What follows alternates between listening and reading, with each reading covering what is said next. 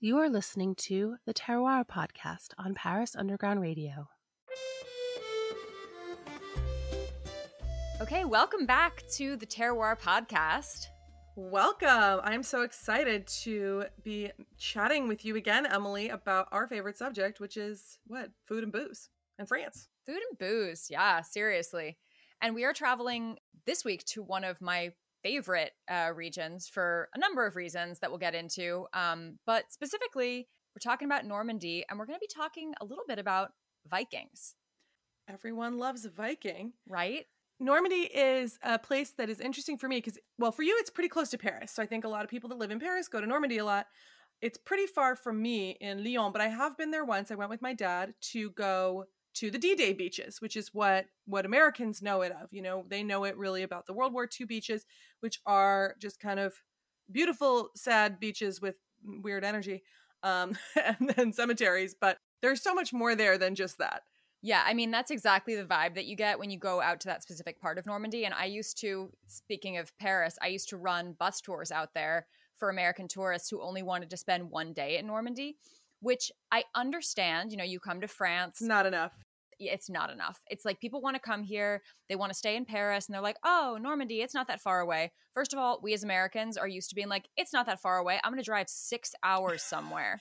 I have family, a lot of family in the Midwest, mm-hmm. and that's how they they're like, yeah, we're just gonna we're just gonna hop in the car for four hours. I'm like, are you fucking kidding me? like, I'm not I'm not spending four hours in the car. There's no way. Like, that's like a for me, that's a like full on road trip. Like, if I'm in the car, I can't.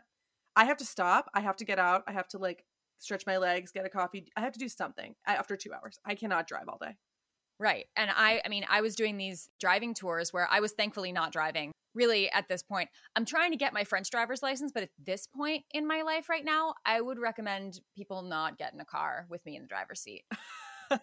it's just like for your sanity, for my sanity, for our friendship, it's probably not a good idea. But I was not the driver on these tours. I was the uh, tour guide. And so I, you know, got my history of World War II down pat. But there is, like you said, so much more to Normandy than D Day and then these, you know, sad beaches, which are now, I mean, they're sad, but they're also just beaches. They're just beaches. I think that's what people don't realize. They're like, they want, they think there's going to be a lot of stuff there, and it's like, it's just, it's just a beach. Yeah.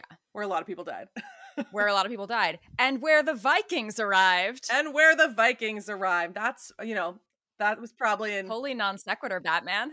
interesting um that probably a lot of people died when that happened too but maybe not as many.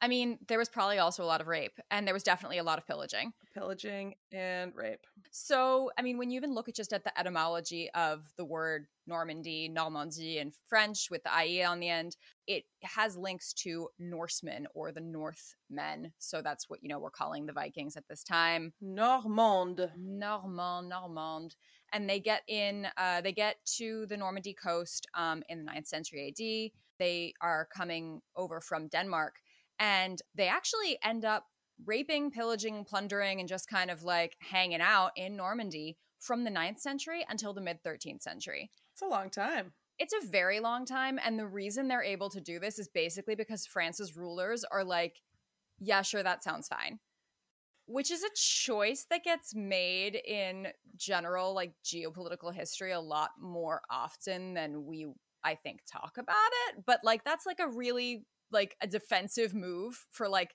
how about you don't take my whole country but i'll let you like take that little bit that's like far from my castle. Well let's remember that france wasn't a country either like not really you know and and at this time we have sort of kingdoms that are that are smaller and and are always kind of borders are always changing and it's just like whichever dude you know thinks he has the biggest dick is gonna take the most land at that point so. I mean accurate. I mean we do so at this point we have a guy um a guy a dude philip augustus in paris who is king of france for all intents and purposes but he does build like the very first or the the biggest fortification wall around Paris, which at this point is really only going to be like the first five or so arrondissements of the now 20 arrondissement city. And he's building that wall. I mean, people say to protect Paris from the English, but really it's to protect Paris from the Vikings who are hanging out in Normandy, which is a, you know, four hour bus drive, several day, you know, mounted jaunt from uh, from Normandy. So I mean, Google will tell you how long it takes to walk there. So we Right? can figure that. I love that. but it's like, it'll take you seven days. It does, it does give you some perspective.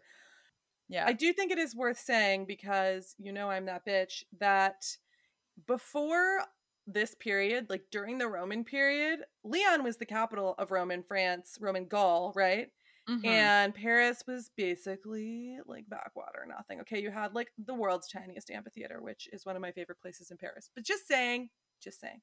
and it's still there. People who do come to Paris, that world's tiniest amphitheater is there, and I like high school kids hang out there and have their lunch. It's great. I discovered that place totally by accident once. I was just walking past and there's like a plaque. It's like the Roman amphitheater. I was like, what? And you walk through this like random door and then it's just sitting there.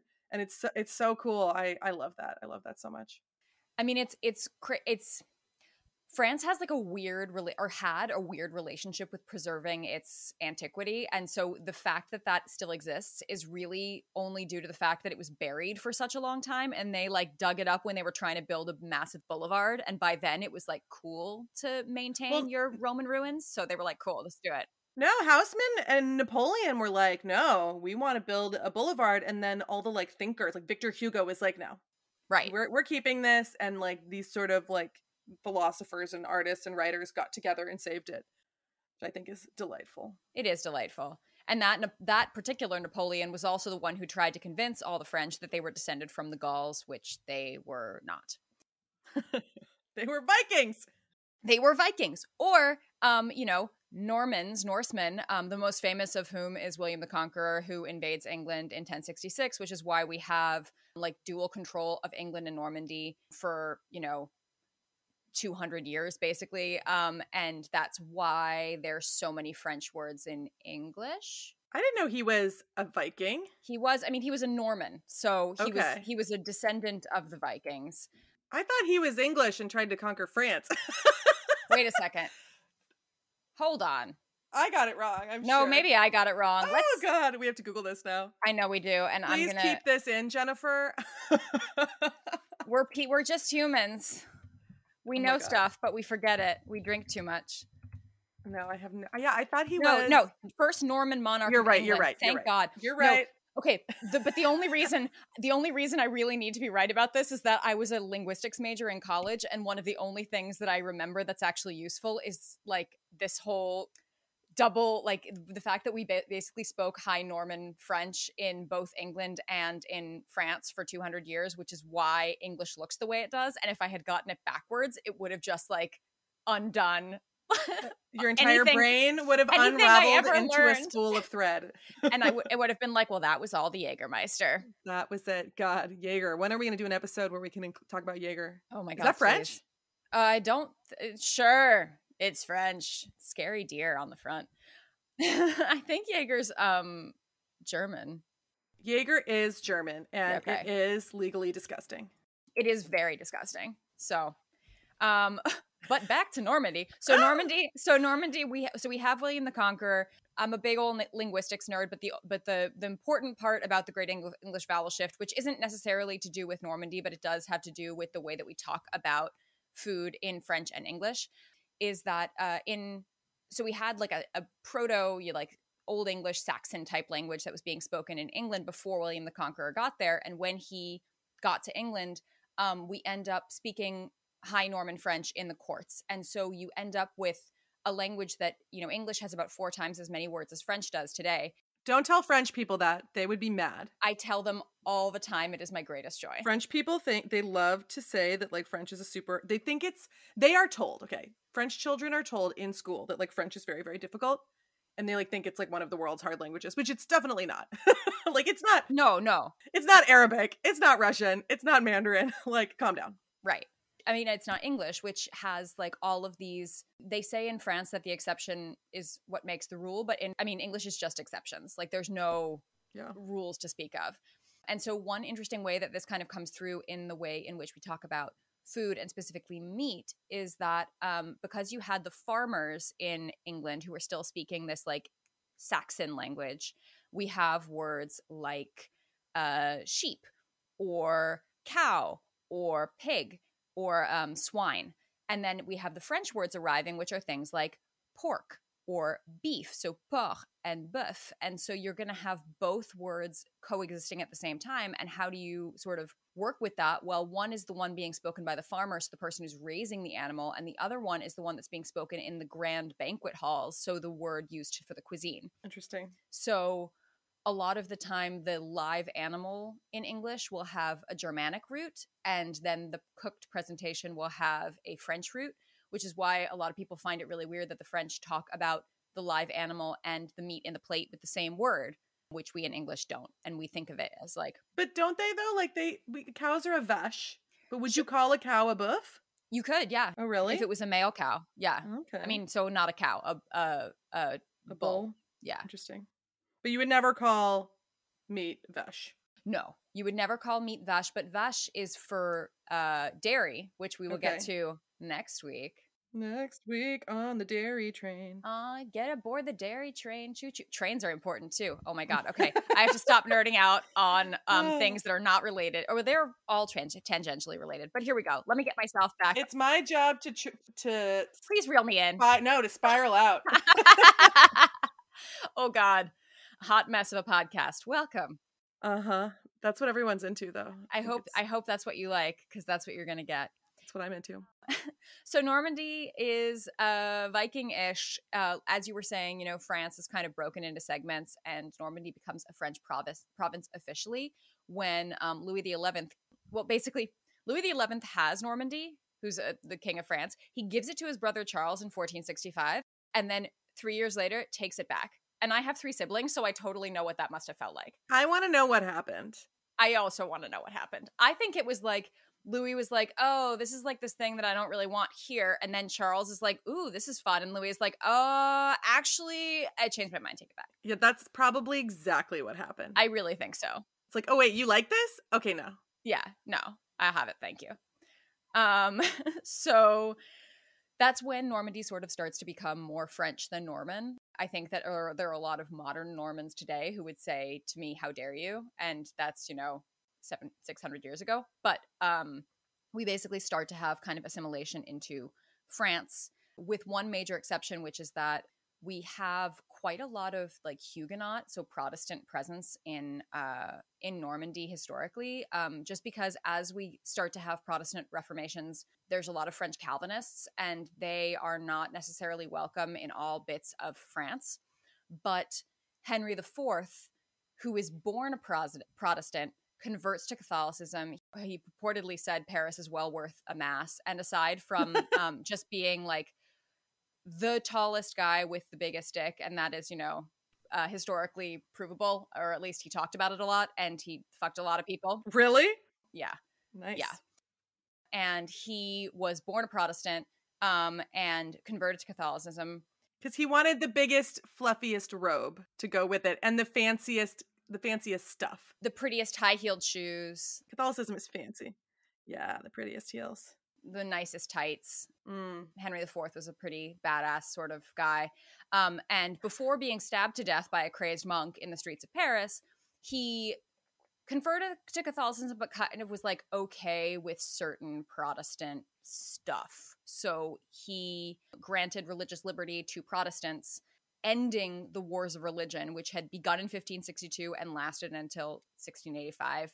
And so you, you end up having a lot of Huguenots there. When we revoke the Edict of Nantes, we uh, the Huguenots are no longer really allowed to hang out in Normandy, so they flee to other more Protestant-friendly countries um, in Europe or elsewhere. I'll never understand this uh this take on Jesus. Right? I like him best. No, I like him best. Fuck you. Die. My windows are pretty. We hate your pretty windows. Kill each other. I don't think so. If you are an avid reader like me, make sure to check out Storytime in Paris. This podcast by Jennifer Garrity is about any book with a French connection, and it's an opportunity for the audience to ask questions of the authors and hear the authors themselves talk about these Frenchy books on Paris Underground Radio. Now it's time for a word from the sponsors of the podcast. And now back to the Terroir podcast.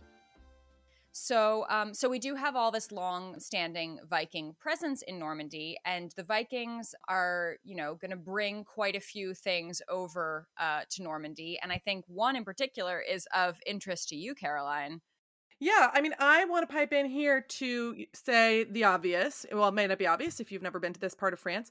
So Normandy is up top. It's north. It's on the the north coast, um, with the the North Sea, not the North Sea, the the Channel, right? Right. North Sea is a completely different place. It is, but we also it also bears noting that in the we all, we call it the English Channel everywhere but France, where they insist on calling it the Channel. The Channel, yeah, yeah. And so it's cold and it's wet and it's flat. These are things that are not good for wine. So this is not wine country. People think that there's wine everywhere in France, and there is wine in a lot of France, but there's not wine in Normandy. Normandy is not a wine place. So, you know, we still got to get fucked up somehow.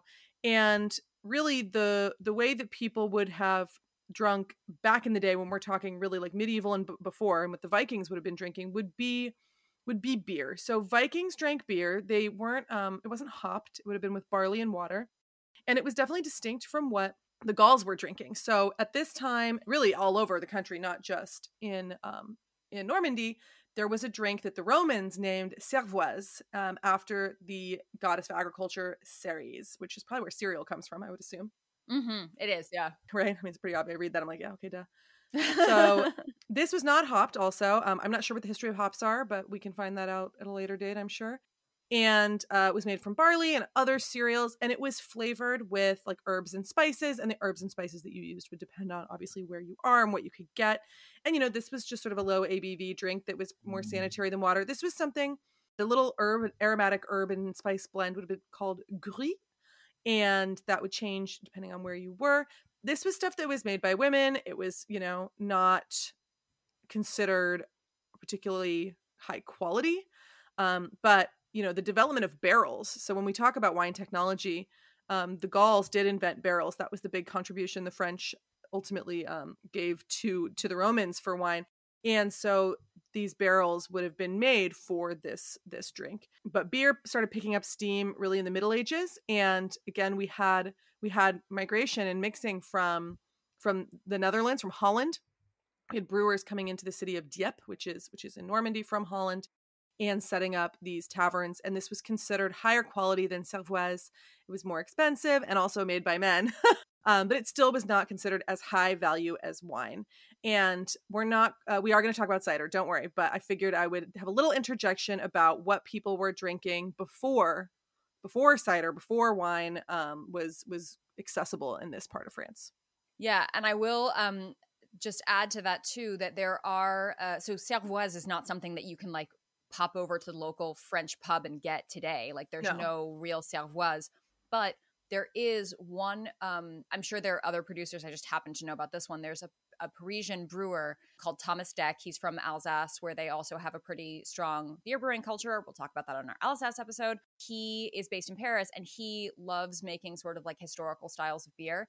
And so he has made like somewhere that t- some a, a, drink that kind of toes the line between like an ale and a cervoise that is hopped only slightly and then it, they use some herbs um, for bitterness to sort of replicate or kind of just just to make a reference um, to the Cervoise of yore. So if you check out Deck and Donohue, if you're in France, they do not export. They're too climate conscious for that. Oh, but, really? Um, yeah, they decided they're everywhere in Paris, though. I mean, if you're if you're in Paris, in Paris, they're everywhere. Yeah, I, have been drinking that stuff for a long time. It's really good. Yeah, you can get it at Monoprix. Yeah, and so you can definitely check that out. And they do um, do a Cervoise kind of style beer, which is pretty cool. Let's try. That is so. cool.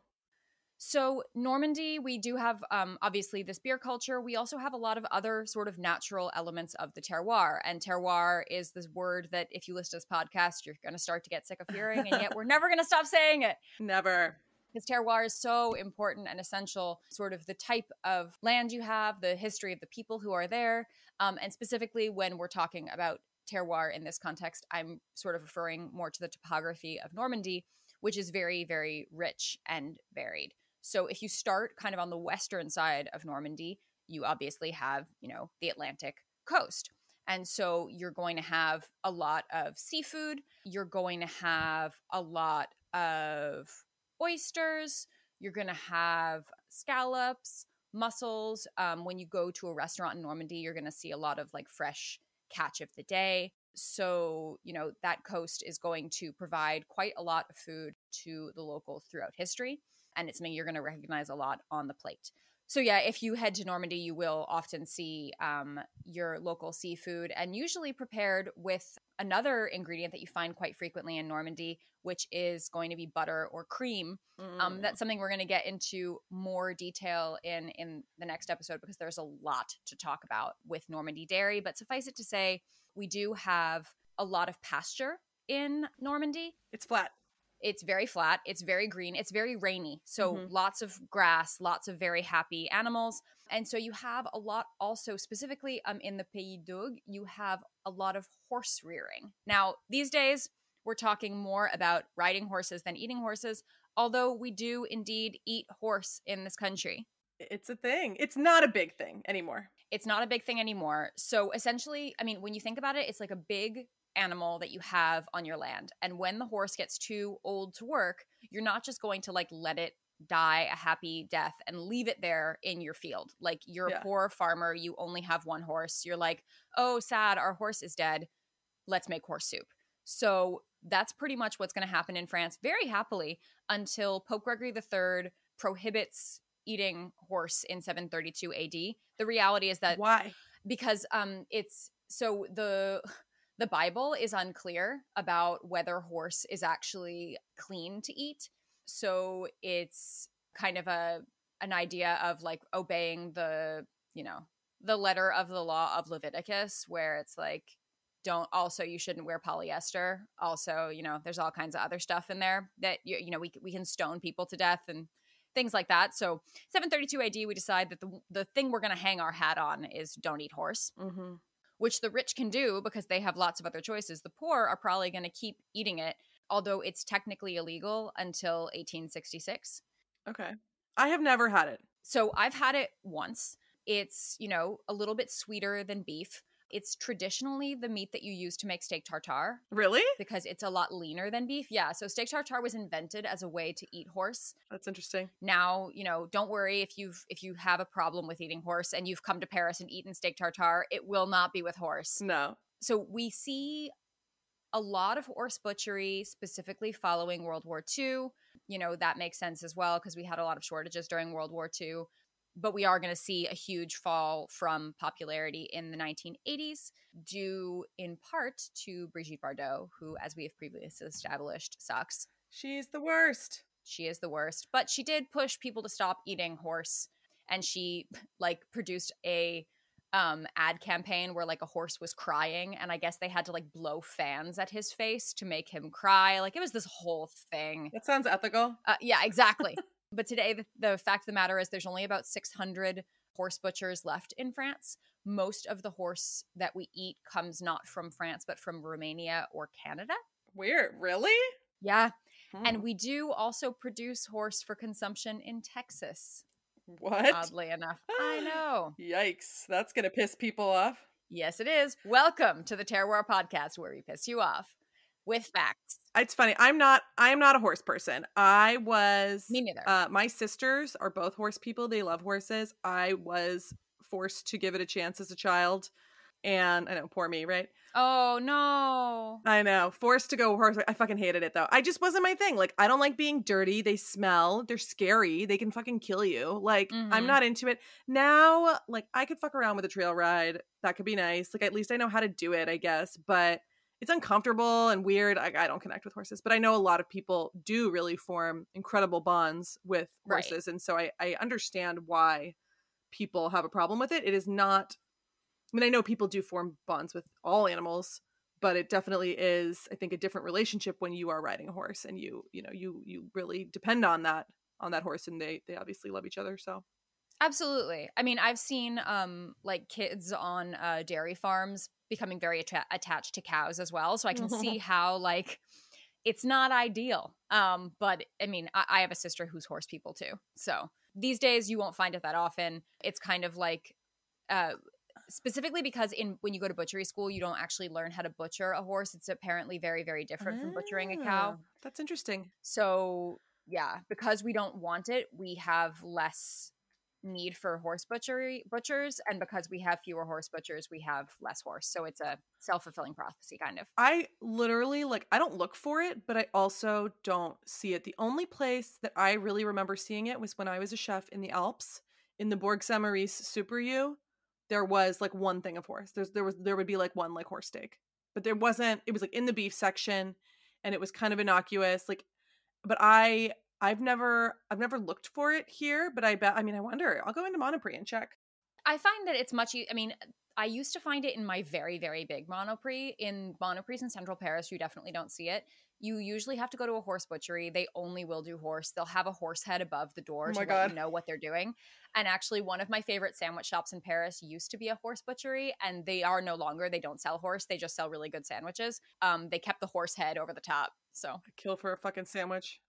We don't have sandwiches in Lyon. There's like a real lack of sandwiches in this city, and it really makes me sad. yeah, but I think you don't like French sandwiches in general. French sandwiches are terrible, and they they have too much bread and not enough other stuff.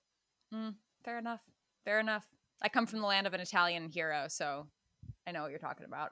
But, well, I mean, what you're saying is true too. Like these days, beef is a lot more common just throughout France, and then specifically in Normandy, we have a lot of cattle, and specifically this Normand breed, which is a descendant of cattle that were brought over by the Vikings. So it's a very specific local breed of cow. They're very beautiful. They're white and they have these kind of like reddish splotches and they can be a little bit blonde looking and they're delicious. Yum. so good. They're famous for their marbling. Um, they can hold a lot of fat. And, you know, in France, the beef is by and large grass fed, which can mean it's a little bit tougher than what we find in the States. But really, in Normandy, you get that awesome combination of like uh really really rich flavor and also an excellent texture that you don't have to like chew it until next Tuesday. So, delicious beef in Normandy. So, in France we do obviously have the normal cuts of beef, although we butcher beef differently in this country than you do in the US. Usually the idea in the US is to avoid waste as much as possible. So you'll often have cuts that aren't even all the way through or that have different textures on them. Whereas in France, the ideal is to have cuts that are the same all the way through and that ha- so they have the same thickness and the same texture throughout the same the steak which means that you end up with a little bit more waste but we we do use all the waste so anything that's cut away from a steak is either sold as stewing beef or ground beef um, and so we eat everything and that includes of course the offal the organ meats The insides. yeah Tripe. Exactly. If you're enjoying this episode of the Terroir podcast, you may also be interested in our sister podcast, Romancing in Paris. This podcast delves into everything you need to know about the city of love. The Terroir podcast will be right back after a word from our sponsors. And now back to the Terroir podcast. Um, so do you eat tripe? I wish I was more into stuff like that because in Mhm. Lyon we we have a sausage called andouillette that's a tripe sausage and I think it smells like a public toilet and refuse to put it in my mouth. So no. Fair enough. I mean, so I actually really like andouillette, but is the only tripe preparation that I like. I don't like I don't really like the texture of tripe. It's kind of got like this uh, honeycomb kind of texture to it that I find really weird. But I'll eat all the others, like the I don't buy it, but like if someone else makes me kidney or liver um, or sweetbreads, which I love, I like sweetbreads. I like like a liver pate. I don't want a liver steak and I think kidneys smell like piss. I mean they do. That's why you put them in like a really crazy sauce. but yes, Yeah, I'm not into it. I'm not. I'm not keen it. on. I'm not keen on the tripe or the kidneys. I like liver in a pate. I'm too Mhm. American, and I don't think that's ever going to change. Fair enough. I ate brain once and that was really good, but again, I would never make it for myself. My friend Christy made brain recently and posted on Instagram. Wow. It was intense. Well, specifically in Normandy, we do eat tripe in what they call à la mode de Caen. So Caen, not to be confused with Cannes, um, is a city in Normandy. So it's spelled C A E N. And traditionally, it's made with all four chambers of a cow's stomach and a part of the large intestine. That uh, large intestine is no longer allowed um, since 1996, but it is still made. Why? Is that like foot foot and mouth disease or something like that? Mad. cow- I mean, no, that was brain, right? That was brain. So this is more to do with just being able to guarantee like the right sanitary conditions. Okay. Um, it's this kind of the same reason why in the US you're not allowed to sell lung. It's like it's just too hard to guarantee it. And so they're like, no. I mean, I'm sure there's still people who eat it, but you're not allowed to sell it. Uh, you are, however, allowed to use like the hooves and the bones, which, you know, have all the lovely gelatin and collagen and everything. And you mix it all together with aromatics and a very, very large quantity of beef fat.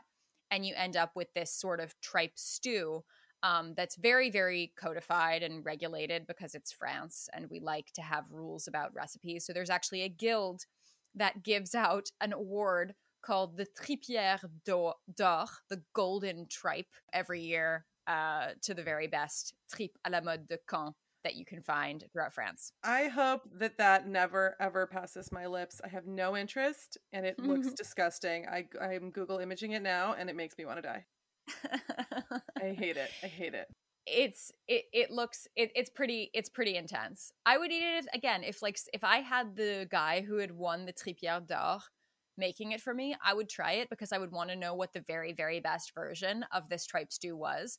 But I've had tripe in like pho in like Vietnamese pho, and I love pho, but I avoid all the tripey bits. Like I just don't I don't like the texture. I think it's really weird. Yeah, tripe is yeah, tripe is like not just a French thing. Like there's a lot of tripe in Mexican food, and yeah, and pho, and like it's not. yeah, Italian food. We're just, I guess, when you don't grow up with those textures, I think it's the texture that gets like the basic bitches from America. You know, Yeah. like Oh, for me, it's 100% the texture too. Like, I just can't. It's just too weird. But uh, so we have the the Normand cow. Uh, so the Normand cow is one of the breeds. eh, Often in France, you have breeds that are specifically used for beef production and bre- breeds that are specifically used for dairy production. Mhm. The Normand is one of the I wouldn't say rare, but one of the few that is very good for both. And so, you know, as I said, we're going to talk a lot more about dairy next week because the dairy ind- industry and the history of dairy in Normandy really does need its own episode. But suffice it to say that there is a lot of rich Normandy cream and butter here. And so, usually, when you see anything on like a restaurant menu, and this is something you'll see a lot on restaurant menus throughout France, a la something. So, like, a la basquaise means in the Basque style, and that's usually going to mean like with tomatoes and peppers and onions. I think is that right?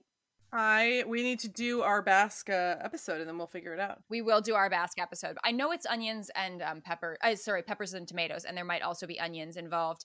A la bordelaise will mean with a red wine sauce, and a la normande means that it's going to have butter, cream, and apples. Apples. apples. Apples is a major crop in Normandy. We have nearly 800 varieties of apples grown in Normandy alone. And it's got a long, rich history, and it's a huge part of Normandy terroir and food and drink. I love apples, and now we get into the booze corner again. Exactly. So we we did briefly talk about beer, but you were just waiting for me to talk about cider. Oh, I really want you to talk about cider.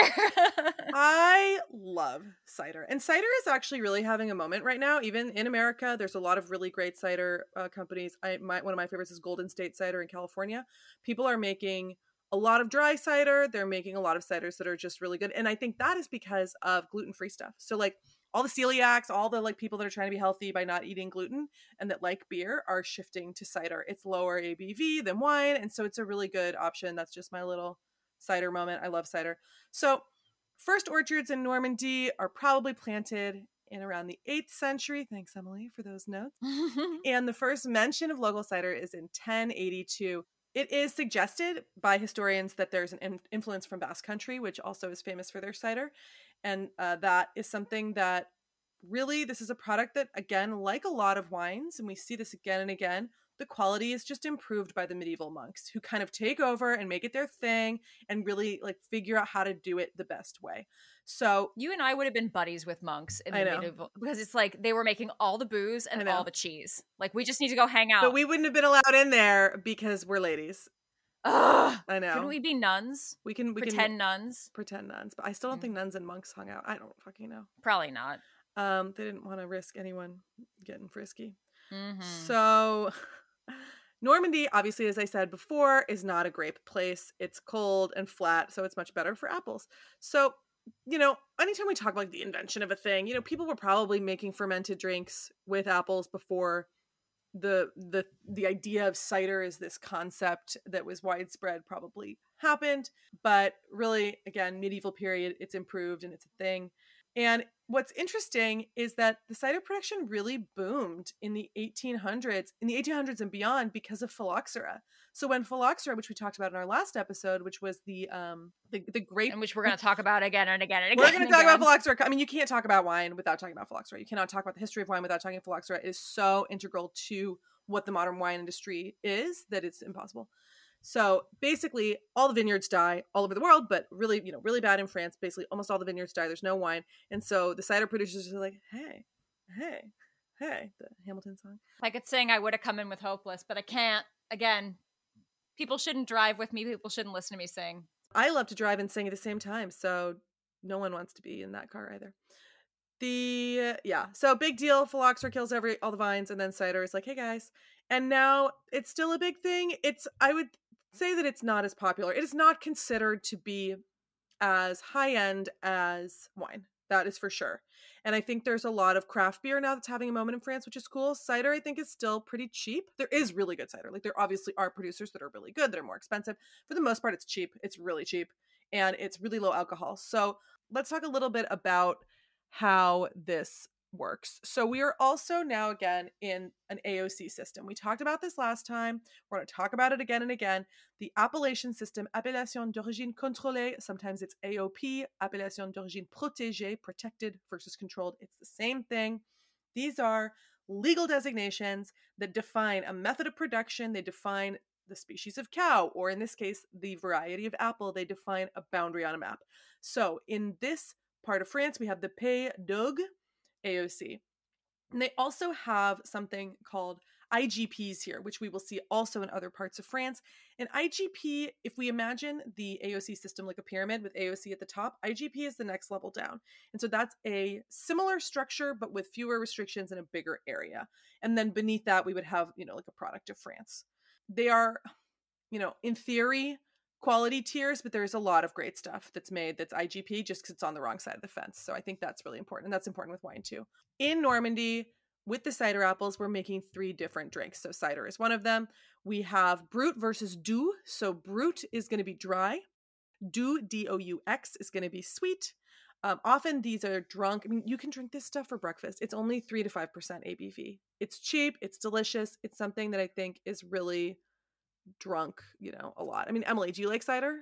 I love cider and um you know I I love it specifically with a lot of the products that come from Normandy. I think it can work really well but I also just think it's a really nice thing to have like on a hot day mm-hmm. when you know you don't I don't know for some reason you don't feel like drinking rosé maybe you had some had too much yesterday. You don't want beer. It's like it's got a slight sweetness. It's fruity. It's lovely. I love it. I'm I'm a big fan. Yeah I think it's delicious we do also have something called Calvados. So Calvados is a distilled apple brandy, and Calvados is also AOP protected. So the first mention of Calvados is from our uh, squire Gilles de Gouberville. I'm gonna call him Gooberville. I like that. I think you should. I like. I like that. That should be the name of a town, Gooberville. That's it. That is the name of a town in like Indiana, right?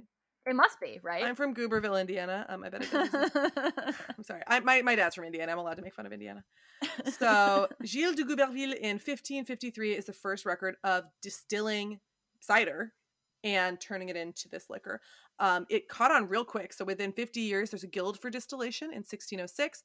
The Calvados area is created after the revolution, and like cider, the output increased a lot during phylloxera because the grape brandy was also really affected by phylloxera. You know, cognac, Armagnac, those are made from grapes. So Calvados is like, hi. And then it was, uh, this is a fun fact, they were requisitioning Calvados to make explosives during World War One because it's so high alcohol. Oh wow. It's it's liquor. It's liquor. Right. It is, but it, it is, it does taste like apples. I mean, it's fucking delicious. I, I really, I really like Calvados. I love Calvados. Yeah, it's amazing. Um, the AOC was protected in 1942, which is is you know the AOC system kind of starts coming in in like the 20s I think are the first ones so it's it's on the early side and then AOC d'Auge is um that's more restrictive So AOC Calvados is slightly less restrictive. You can use a column still and do a continuous distillation. But if you're AOC d'Auge, it's going to be double distilled in a traditional copper alembic still. And that you know people say that that makes it a better quality and you keep more apple flavor whereas some some people prefer the sort of cleaner style of a continuous still and then these are going to be aged for a minimum of two years in oak so there's often a little bit of a vanilla vibe something sort of spicy and then we do also have pears. I mean, I think it's important to say that pears are important here too. We make perry, which is cider from basically from pears, and most of the perry would also still have a base of apples. But Domfront is an AOC that is a liquor that it comes from 30% pears. So we do have even have, you know, smaller AOCs that are particularly special. And like brandy, Calvados has quality tiers. So we have um, VS, which is two year minimum aging. We have Vieux or Réserve, which is three years. VO or Vieille Réserve or VSOP, you could see any of those on it, are four years aging. And then when you get to the really good shit, that's Extra, EXO, Napoleon, Hors d'Âge, Très Vieille Réserve, that's going to be minimum of six years, but on something like this, it's always going to be a lot more. And these are liquors that can be aged for a very, very long time. So this is not something that is, you know, if you're if you're getting an XO, it's not going to be six years, probably more like fifteen. You know, um, I've never had an aged Calvados. I've only had VS, and they do taste really appley. So I would love to taste older Calvados. And yeah, I don't. Know, I've never had the opportunity. So I actually have had the opportunity, and the opportunity that I had was at a uh, cider house slash Calvados producing facility in um, Normandy uh, called Verger de Romilly and they have actually had apple farms on their property that date back as far as William the Conqueror. And we actually are lucky enough to have Benjamin Renaud, who is the son of the uh, former owners who's taking over the business himself, here on the podcast to tell us a little bit more about the crafting and the sort of unique nature of his production in Normandy. Awesome. Thank you so much for joining me on the podcast, Benjamin. First, I know that you work um, on a family production that's very, very old. Can you tell me a little bit about the history of your particular production? Actually, it is my mother, Cécile Renaud, who pushed hard to take over the, the business on, on cider. She started with about 5,000, 6,000 bottles a year in the 80s to reach nowadays more than 120 thousand bottles of cider. That's just for the cider. Because uh, we do also some Calvados, which is distillation of cider. When the mother started the business of cider production, she had some apple trees from the grandfather. And then she discovered that on the market of the plants, only Bretagne apples were available on, on sales. So she started to grow her own apples with some colleagues doing cider to recreate, to refine the, the, the, local Norman varietals of apple. And it took them about 20 years to, to find back all those old varietals of apple. Wow. And you have had apples growing on your land for a very long time, right? Even though yep. your your farm is three generations, but the apples have been there for a long time. Yeah, yeah when I took over the business, the parents were with 14 acres of orchard. An acre of land in France is a 1,000 meter per 1,000 meter. You can plant on average 600, 700 apple trees on this hectare. Nowadays, we double the production. Uh, my surface is about 33 hectare of orchard. Okay. Mm-hmm. And when she started the plantation, she was about with about four hectare of orchard. So we, we are constantly increasing the capacity of production of the farm by planting new trees. How many different varieties of apples do you grow on your land? Well, you have to understand that to have a, a good cider, you need different varietals of apple. There is four big families. There is the sweet apples, the bitter sweet, the bitter, and the acidulated apples. And then you have the subcategories, the varieties themselves. The varietals the people are used to will be the Granny Smith, the Pink Lady, the Fuji apple. Those apples are handpicked into the trees. Our apples have to fall on the ground before being harvested. Means they're ready. And also, it's tiny, tiny apples. Um, should be three times less than, than a classic regular apple you are used to. And so we are working in total on this farm with about 30 varietals of apple we will use about uh, 16 of them just for the cider. Now, I was really interested in what you said about your mom really pushing for focusing on apples and cider and Calvados. Is that a story that you think is quite common in your part of Normandy? Well, yes. Usually, the guy here, they have the land, they have the buildings, they have the skills. But usually, by the time they were doing a lot of different products for their own consumption, the cider, they were doing also meat, uh, milk, Yes, it was common to be on different products and productions. With time, the people tend to focus on, on certain production and to be master of this kind of production. I know that you started making a few newer cocktail kind of beverages and even a honey made from cider. Can you tell me a little bit about those? Oh, yeah, the confit de cidre. The confit de cidre is a reduction of cider. So, with the leftover of cider you have, you, you cook them with some sugar in a copper pan for five, six hours, slow cook. And then you obtain a syrupy caramel with the taste of cider. It's fantastic. It's like a honey. Is there anywhere that people can find you and taste at home? That's quite recent. We are starting the online sales of our products. That's working quite well. And due to the COVID crisis, they, they increased the, the, the orders on online because they weren't able to come to the farm as they are doing every year. So we just recently uh, started this, which is uh, which is very cool. It's a, it's a new adventure for us. But uh, so far, we have to sell only in Europe. It's really tricky to sell alcohol out of Europe for the moment for us, for a small company as we are. And now I'm quite proud to say that we are shipping about 20 pallets every year to USA. And those products are available in New Jersey, New York for the moment, and some other states. If you want to have more details, you should visit romillycidre.com, which is their website. Well, thank you so much for joining me and for telling me so much about your production. I just have one last question for you before I let you go. And that sure. is, if you were to imagine the ideal pairing, the ideal food to enjoy with your cider that you make, what's your favorite thing to eat when you're having a glass of your cider? I like to drink my extra dry cider because we are really close to my grandfather's cider taste, the real Norman cider. And this cider pairs perfectly with some cheese. You can take some camembert, the pavé d'Isigny, which is a soft cheese here with the, the red skin, orange skin. Uh, it's a specialty of Isigny, which is the, the closest city, village here, uh, with some andouille. The andouille de vire, that's really specific. It's sort of a sausage made with guts of uh, animals. Voila, it's a very sounds delicious. It is actually it is. Uh, yes, yes. The taste is very strong, but it's so cool with the cheese, and the cider, and yes, yes. It's that's the the match. Amazing. Thank you so much.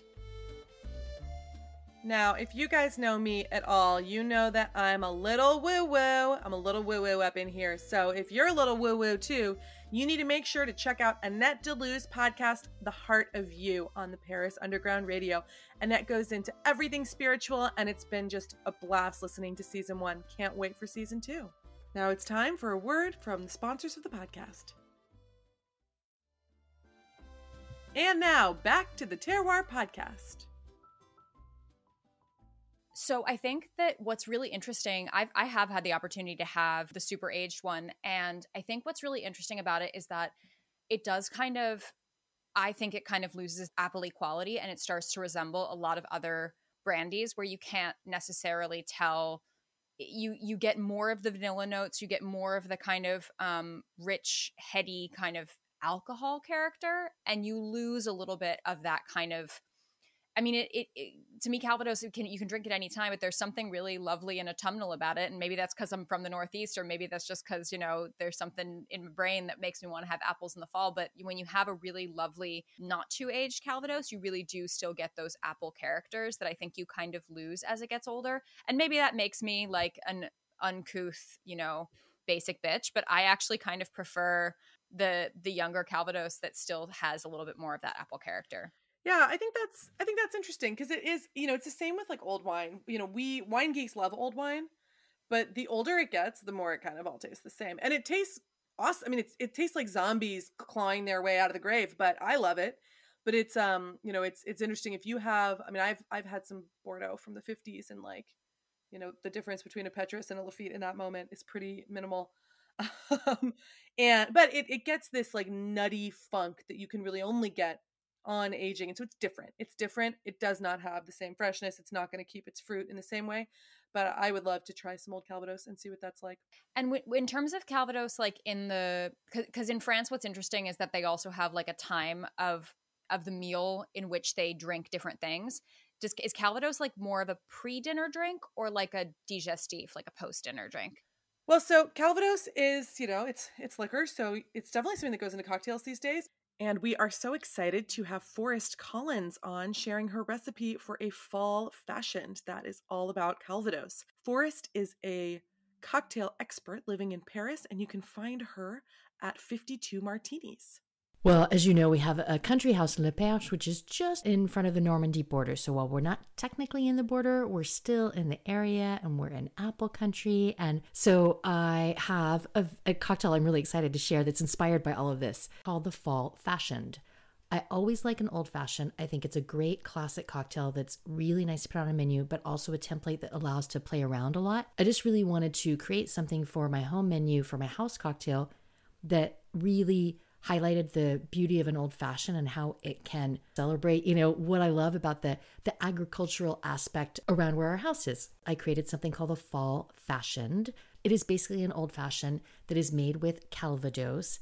And um, I also use brown sugar syrup and I pour it over a little smoked ice. My recipe is six parts Calvados, one part brown sugar syrup, which is just equal parts brown sugar and water mixed together I also sometimes use maple syrup. It, just depends. I know, especially if listeners are in France, it might be harder to find one or the other of those. Both of them work really nicely. And then I use several dashes of whiskey aged bitters. You know, you can use Angostura, you can play around with your bitters if those if those aren't something that you can find easily. You're going to mix all of those together over a large block of smoked ice in a rocks glass and then express a lemon lemon peel over it. So you take your lemon peel and you just kind of squeeze it so the oils shoot out and land on top of the cocktail. And so I think that it really balances out nicely the apple flavor of the Calvados and gives it a little tiny bright note. So, side note for the ice when I say smoked ice, what I generally do is I have a smoking gun. And if you are not like a big cocktail nerd, you may not have one at home.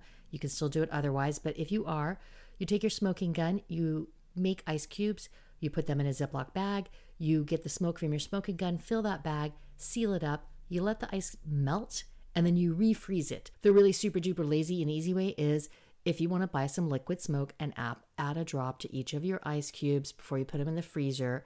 There you go. I mean, nobody, the cocktail police are not going to come and get you if you don't do it with a smoking gun. And I think that kind of wraps it up. There is also a mixed drink that is pretty fun called Pommeau. So this is a newer product on the market. It's something that probably was always done, but the first recorded try to market it, which I actually found on the um, the Inao website. Inao is the body that that controls the appellations. And the first record to try to market it was in 1946, but it was rejected because at that time it was illegal to sell and market cider-based mixed drinks. And so they they didn't want to do it. And then it finally got the right to sell it in 1981, and then it got AOC status in 1991. So this is a mix of apple juice and Calvados that basically goes up to about 16 to 18 percent. So it's a lot more in line with with wine, although it's it's stronger than wine. And then it's aged for a minimum of 14 months in barrel. It is sweet, so it has a minimum of 69 grams per liter of sugar, which is which is pretty sweet. I mean, it's not super sweet, but it's it's definitely sweet.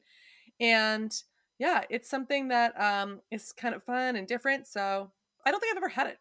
So I've had it before. It's kind of similar in in like mindset to other like apero aperitif style drinks that place that other French regions make with their distilled liquor. So like you often find, you know, in uh in like Charente, for example, they have like a a grappa that they mix with grape juice and they end up making Pineau des Charentes, which is like I've had that. There you go. So you so it's like that, um, except it's more appley.